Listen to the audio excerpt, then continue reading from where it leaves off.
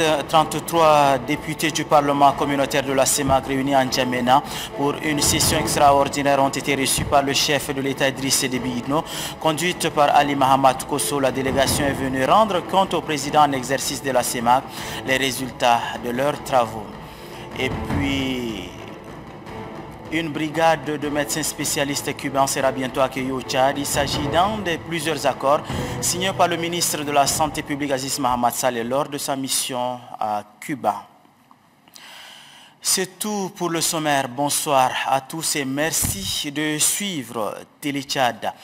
À la une, ce lundi, le président de la République Idriss Déby Itno, président en exercice de la communauté économique et monétaire de l'Afrique centrale, a accordé ce matin une audience aux parlementaires de la CEMAC. Ces députés sont en Djamena pour participer à la première session extraordinaire du Parlement communautaire.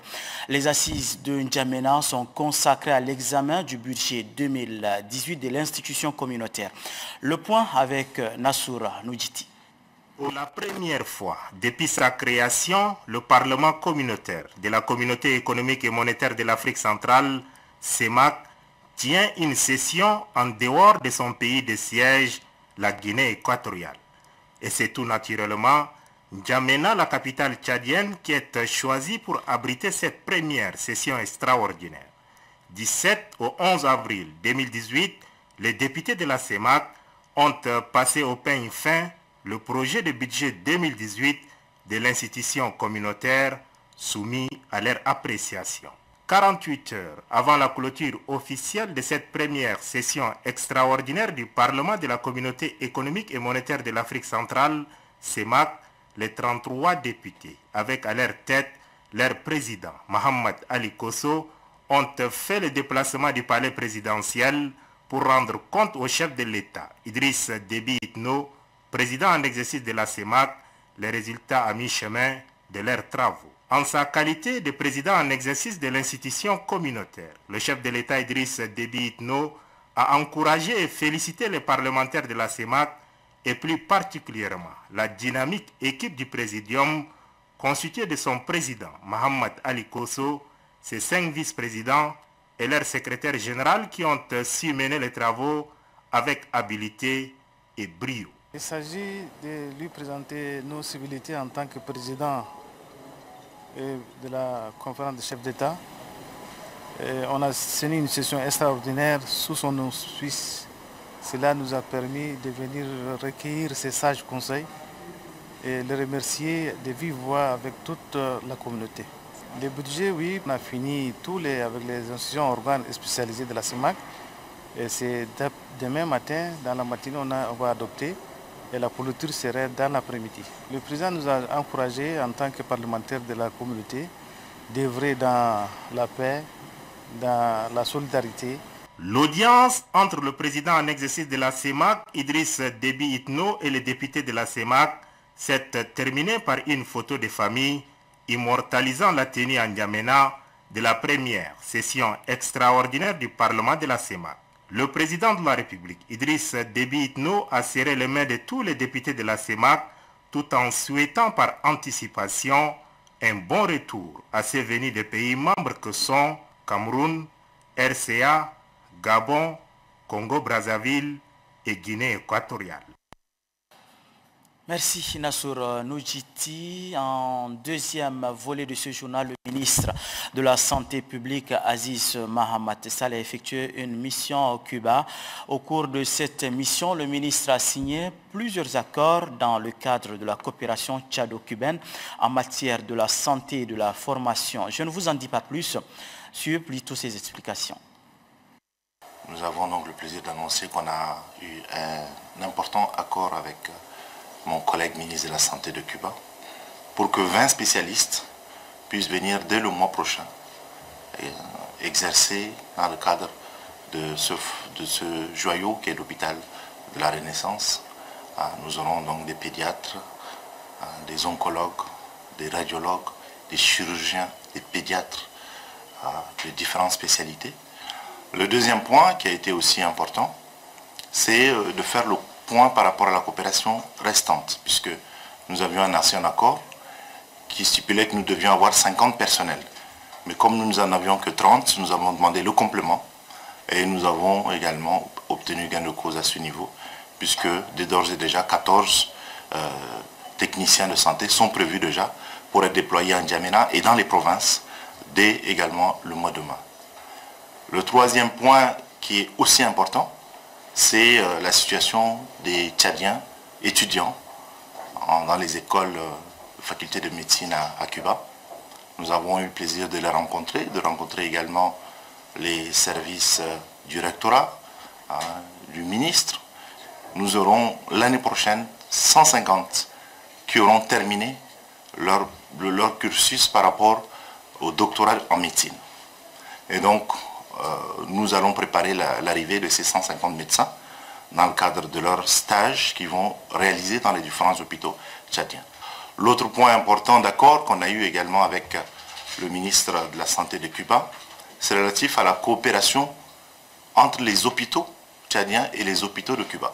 Il y a également l'accord relatif à une équipe d'experts qui va venir dans le cadre du paludisme avant la saison des pluies Aziz Mahamat Saleh, ministre de la Santé publique.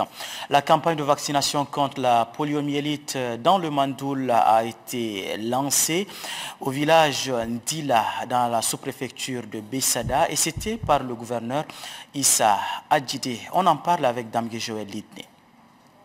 Ces gouttes de médicaments contre la poliomyélite administrées aux enfants de 0 à 5 ans marque le coup d'envoi de la campagne de vaccination dans la région du Mandoul. Le sous-préfet de Bessada, Brahim Hamid Dari, se réjouit du fait que le village Ndila ait été choisi pour abriter le lancement de cette campagne de vaccination qui revêt d'une importance capitale. Pour le délégué sanitaire du Mandoul, Dr Ongram Kouleta, les enfants constituent une force de la nation. C'est pourquoi l'État et ses partenaires débloquent autant de moyens pour barrer la route au poliovirus sauvage qui paralyse ces enfants.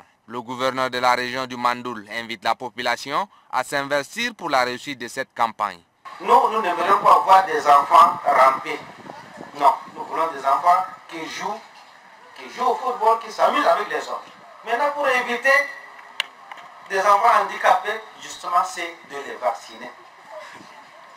Il n'y a pas d'autre solution. Il s'agit de poursuivre en annonçant sa disponibilité et celle de ses collaborateurs à accompagner les agents vaccinateurs pour la réussite de cette campagne dans la région du Mandoul.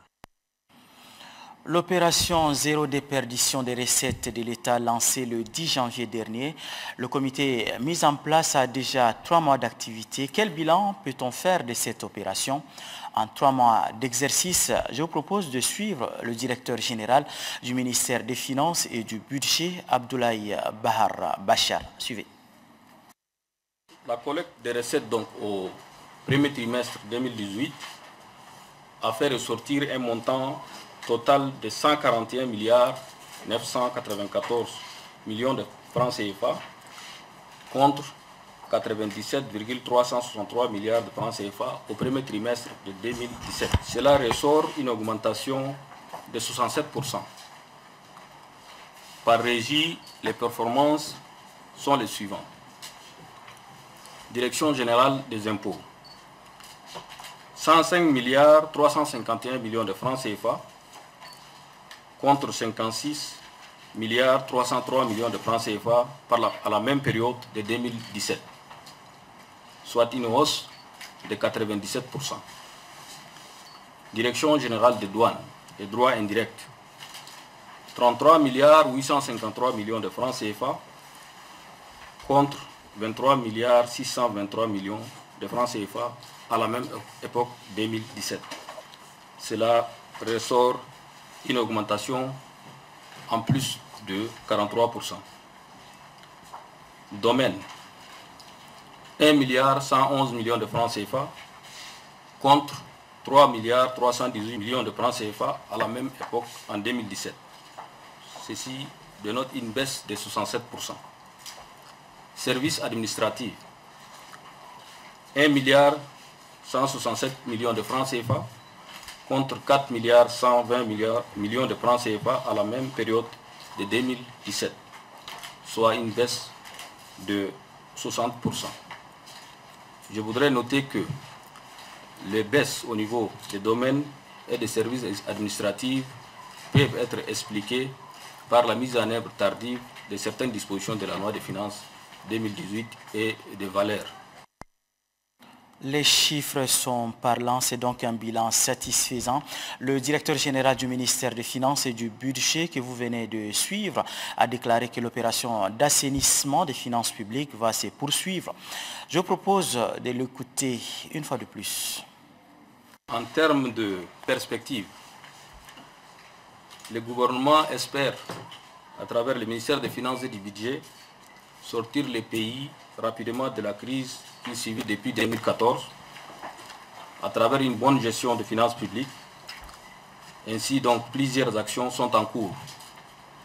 Il s'agit notamment la modernisation des régies et la poursuite de la bancarisation des principaux bureaux pourvoyeurs de recettes. La poursuite de la mise en œuvre du programme économique avec les Fonds monétaires internationaux et les autres partenaires techniques et financiers, ainsi que les réformes édictées au niveau de la CEMAC à travers le programme de réformes économiques et financières, en abrégé PREP-CEMAC.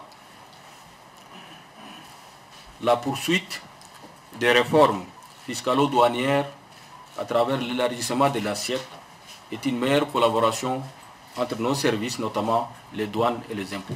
Du côté donc des dépenses, l'audit des arriérés de la dette intérieure, des subventions, des contreparties et l'élaboration d'un plan d'appurement euh, pour appuyer donc ces arriérés.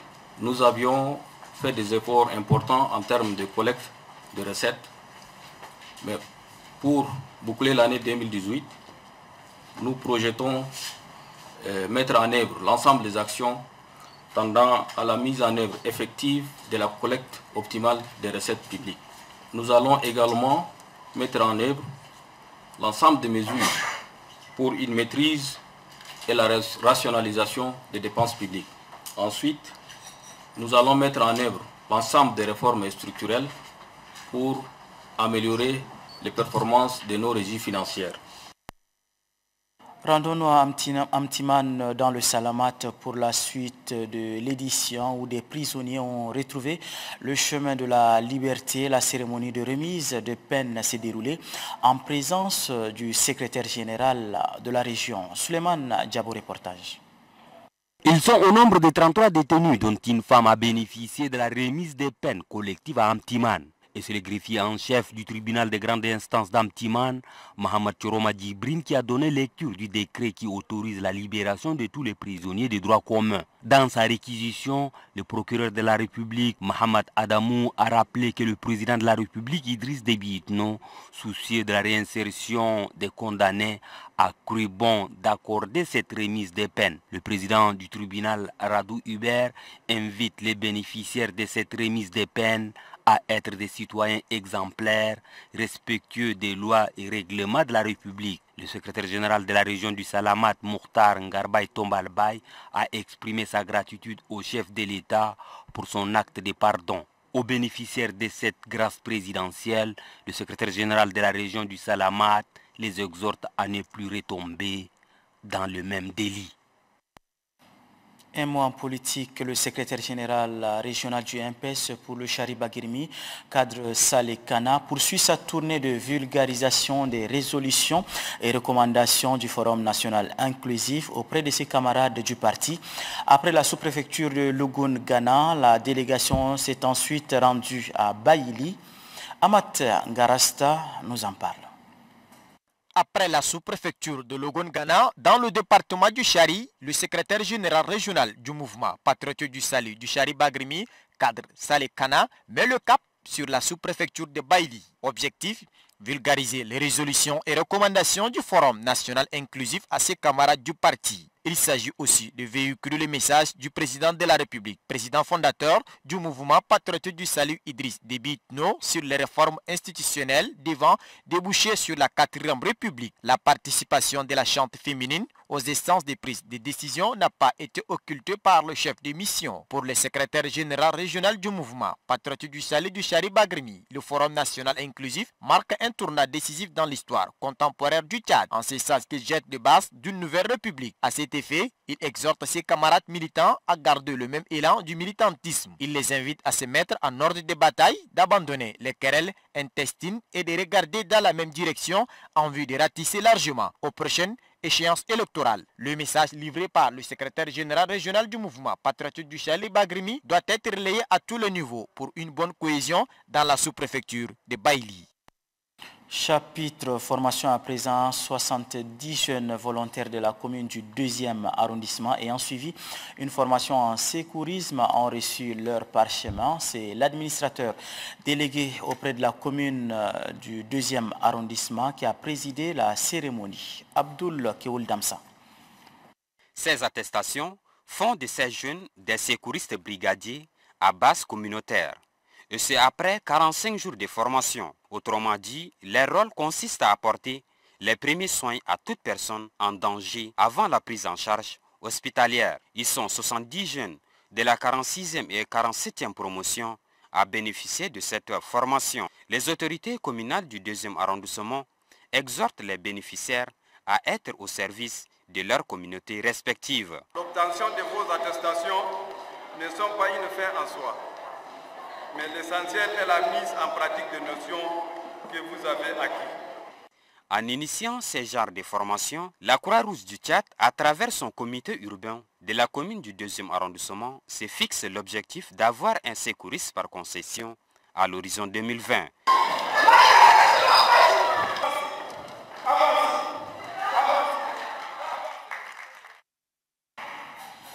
L'Union des Arabes africains des médias numériques forme les communicateurs euh, d'expression arabe sur les techniques du traitement et de la diffusion de l'information sur les réseaux sociaux. Mohamed Omar Moursal.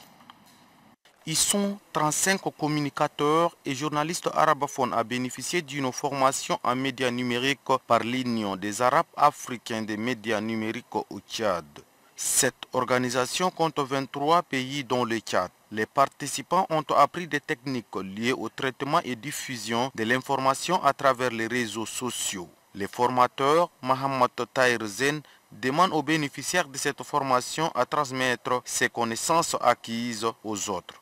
Pour lui, la formation des journalistes en médias électroniques est très nécessaire à l'ère numérique. Le président de la Ligue des journalistes arabophones du Tchad, Adam Ali Adam, apprécie cette initiative et entend apporter son soutien pour le développement de cette jeune structure. Les bénéficiaires ont remercié les responsables de l'Union des Arabes africains des médias pour cet acte. Par la même occasion, un nouveau bureau de l'Union des Arabes africains des médias numériques au Tchad, composé de 20 membres, a été mis sur pied et Mohamed Tahir Zen en est le président. Atelier de formation pour la mise en place de l'Observatoire national du dividende démographique. Au Tchad, les travaux ont pris fin le 6 avril dernier à Bangor dans le Mayo-Kébi Est. Les cadres des différents ministères, les représentants de la société civile et les députés ont été outillés sur le thème de la session. Le préfet du département de Mayo-Bonei, Aboubakar Adam Ibrahim, qui a clos les travaux. Cet atelier de formation pour la mise en place de l'Observatoire national du dividende démographique au Tchad est une initiative du projet SWET, entendez Projet Autonomisation des femmes et le dividende démographique au Sahel. Il permettra aux participants bénéficiaires des assises de renforcer la collecte des données relatives aux dividendes démographiques en vue d'un meilleur suivi des politiques d'une part et d'autre part des engagements budgétaires au bénéfice de la population. Vraiment, c'est une, une, fierté pour nous. Et aussi, nous avons vu que depuis que nous avons commencé les formations, euh, les résultats que nous avons eus ici au Tchad sont des, des résultats vraiment extraordinaires. Le préfet du département du Mayo-Bonnet, qui se réjouit de cette rencontre, invite les participants à traduire en acte les enseignements reçus. Ces assises de 10 jours, organisées par le projet Suède, répond parfaitement aux aspirations des pouvoirs publics contenues dans la vision 2030, le Tchad que nous voulons et le plan national de développement 2017-2021. En culture, élection top modèle, la sixième édition a donné son verdict. Demoiselle Solkem parfaite et sacré top modèle Tchad 2018. Reportage Myriam Katebay. La candidate Solkem Parfaite, élève en première au lycée technique commercial de N'Djamena, est la lauréate qui a remporté la couronne de Miss Top Model édition 2018. Âgée de 18 ans, Solkem Parfaite mesure 1m80 et pèse 60 kg. Sa victoire lui donne droit à plusieurs lots, à savoir une bourse d'études, une moto et d'autres gadgets. Je suis très contente de gagner cette, année parce que je me suis dit que cette année, je dois faire tout pour être la top modèle 2018. La Miss est succédée des dauphines. Il s'agit notamment de Ashik B. Mariam, Gracia Bakia et Massi Bénédicte qui bénéficie aussi d'importants lots. Placé sous le haut patronat du ministère de la Jeunesse, du Tourisme, de la Culture, des Sports et de l'Artisanat, cet événement met en compétition des demoiselles passionnées du mannequinat et animées par le désir de contribuer à l'émergence socio-culturelle du Tchad par la valorisation de son image tant à l'échelle nationale qu'internationale. En religion, la ville de Dourbali, dans la région du Charibagirmi, a une nouvelle mosquée. Elle est une œuvre de bienfaisance d'une fille de la localité en collaboration avec l'association Soubel Salam pour la bienfaisance. C'est le président du Conseil supérieur des affaires islamiques section de Dourbali qui a inauguré cette infrastructure religieuse. Variladji.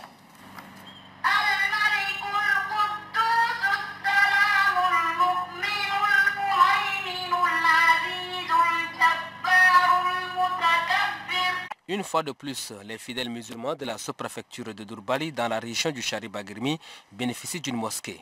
Cette infrastructure est une œuvre de bonne volonté d'une fille de la localité en partenariat avec l'association Double Assalam pour la bienfaisance. Il s'agit de Sadi Abdelkrim Haché qui veut que les fidèles accomplissent leurs devoirs religieux dans un endroit confortable. À cette cérémonie d'inauguration, les fidèles de plusieurs localités de la région du Charibagrimi étaient présents. De l'avis du président du Conseil supérieur des affaires islamiques section de Durbali, Al-Béchir Issa, cette œuvre est salutaire. Il a profité de l'occasion pour demander aux bonnes volontés de suivre cet exemple. 51 jeunes de l'école coranique de Kourkour dans le Wadi Fira, dans la sous-préfecture de Mata, sont arrivés en fin de formation. Ils ont été honorés en présence du président régional du Conseil supérieur des affaires islamiques. Ils ont reçu leurs attestations de fin de formation. Mamad Saleh Anour. Au total, 51 lauréats de l'école coranique Aboubakar Siddiq au village Kourkour dans la sous-préfecture de Mata ont pris leur parchemin. Après avoir mémorisé les 114 sourates, il s'agit de la cinquième promotion depuis la création de cette école coranique en 2010. À entendre le directeur de la dite école coranique, Ibrahim Hassan Issa, l'école compte actuellement environ 400 apprenants, uniquement des garçons. Les filles auront à partir de cette année la chance d'étudier, devrait-il ajouter. Ibrahim Hassan Issaq s'est apaisanti ensuite sur certaines difficultés que fait face son école coranique, à savoir la prise en charge des enseignants et des apprenants à l'internat, manque d'eau potable, et. Abordant dans le même sens, le président du Conseil supérieur des affaires islamiques de Wadifir, Aliou Mohamed Abdelwahid, appelle les bonnes volontés à apporter leur aide et concours à ces enfants qui ne cherchent qu'à prendre le sang courant avant de réitérer l'engagement du Conseil à accompagner cette école coranique. C'est avec la remise des attestations à quelques personnalités et aux lauréats que la cérémonie a pris fin. La chorale Espérance de l'église évangélique du Tchad numéro 9 de Sabangali existe depuis 16 ans. Le 16e anniversaire justement a été célébré hier en présence de plusieurs responsables et des fidèles de l'église bien évidemment. Guillaume Benguiri reportage. 16 ans de louange et d'adoration à la gloire de Dieu, tel est le slogan de la célébration de cet anniversaire. Depuis sa création en 2002, la chorale Espérance de l'église évangélique du Tchad numéro 9 de Sabangali célèbre pour la première fois son anniversaire. En ce jour exceptionnel, c'est la joie totale.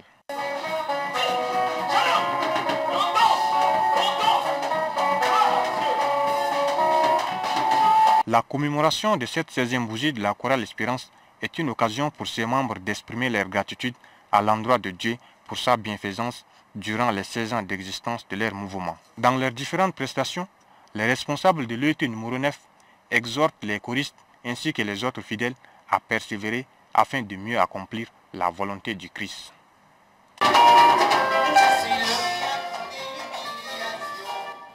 La page noire de ce journal, il était chef d'état-major général des armées, deuxième adjoint. Ndubayo Marc n'est plus depuis le 3 avril dernier. Les obsèques du défunt ont lieu ce matin à son domicile au quartier Amtoukouy. Parents, amis et frères d'armes lui ont rendu un dernier hommage. Vareladji. Une journée pas comme les autres en ce début de semaine au domicile de l'ancien chef d'état-major général des armées deuxième adjoint Ndubayo Mark. À son domicile plane un climat inhabituel.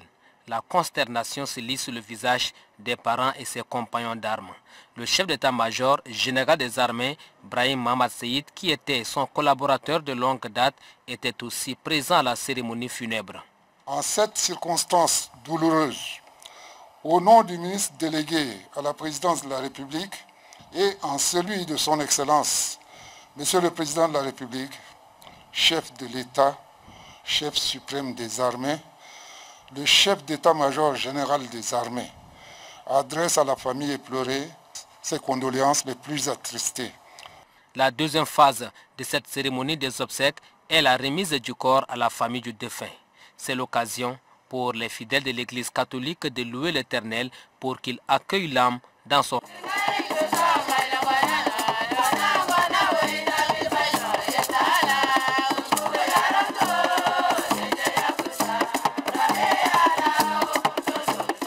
Pour la famille, cette disparition est difficile à digérer.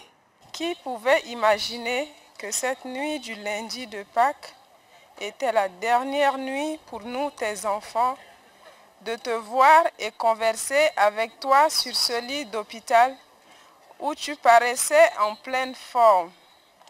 Nous te sommes profondément reconnaissants pour le merveilleux et l'irréprochable Père et époux que tu as été durant toute ta vie.